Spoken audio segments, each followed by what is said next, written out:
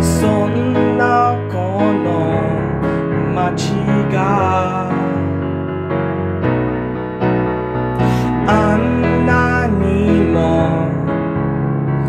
嫌だったのに今ただ思いはますばかり。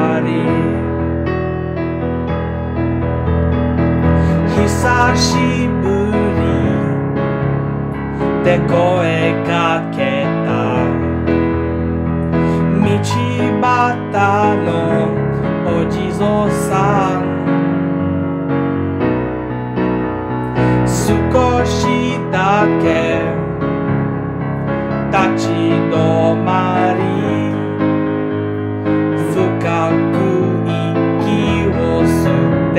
また歩く。戻れないとは分かってる。今だけちょっとあの頃に山に守られて川で遊ん